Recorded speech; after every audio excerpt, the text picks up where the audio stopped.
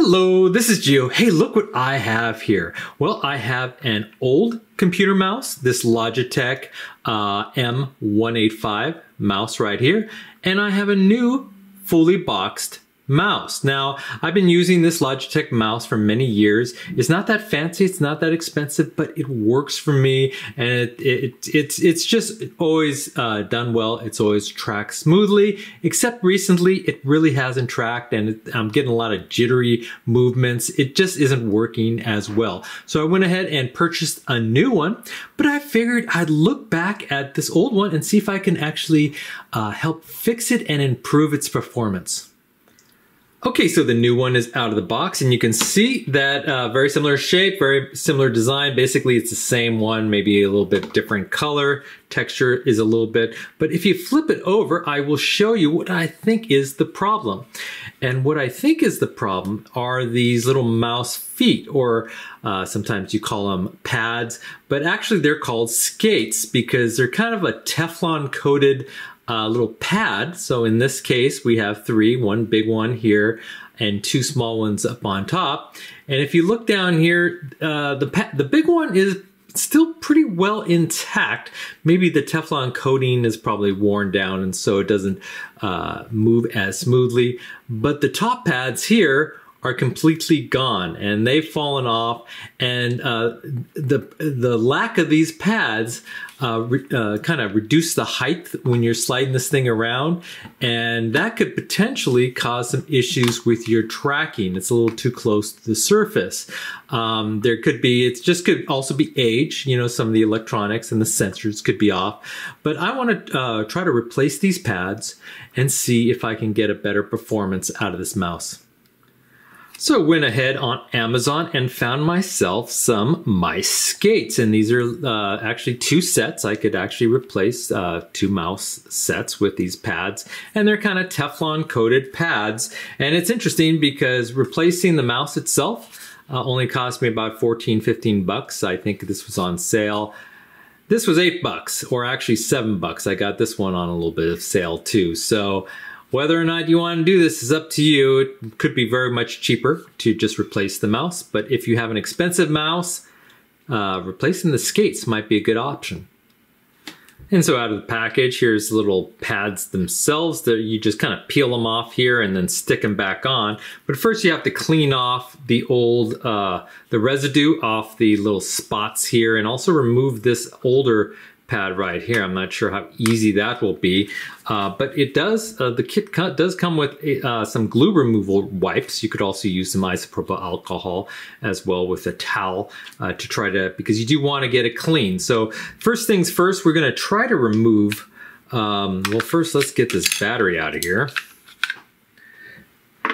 So again, the top ones are pretty much gone. We could just kind of maybe wipe those down but this bottom one really needs to come off and so I'm just gonna take a little tiny blade here and see if I can peel that up. And sure enough it's coming off pretty easily.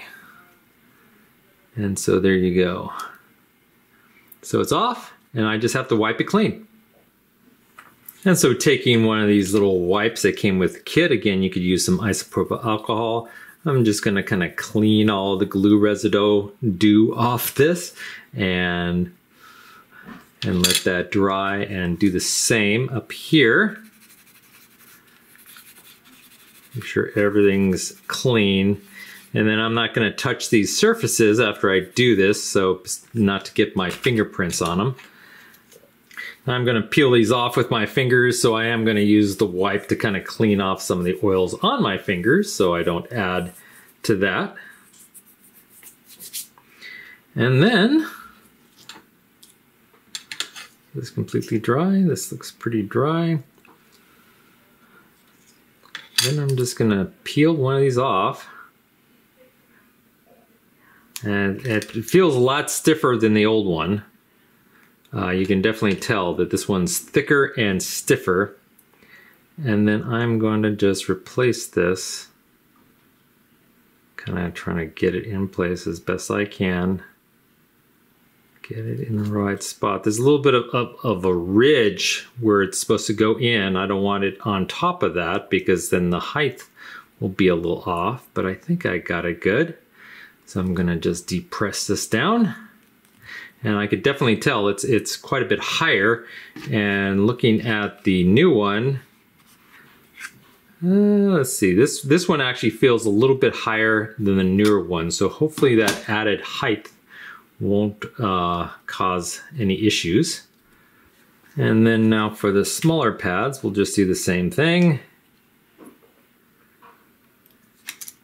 Now these were completely gone, so I just kind of put it lightly down initially before I push it up, just so I center it. That's good, and then I depress it. Very nice. And then one more. There you go, and depress it. And already you can tell that the replacements are higher for sure than the Logitech, the new one. But with it in there, let's go ahead and shut this. Seems to move fairly fairly good. So I'm going to put a uh, battery in there and see if this actually will work. Um, and I'll be right back. Okay, so I'm back and I did test it out. I don't want to show you the screen, but you, will have to take my word for it. It does seem to work a little bit better. Um, it seems to be smooth.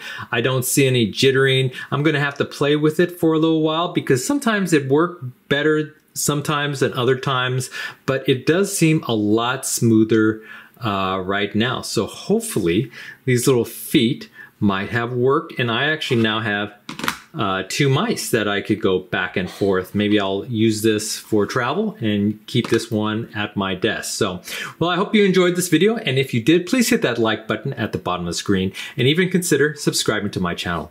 I have many more videos to come. Bye-bye.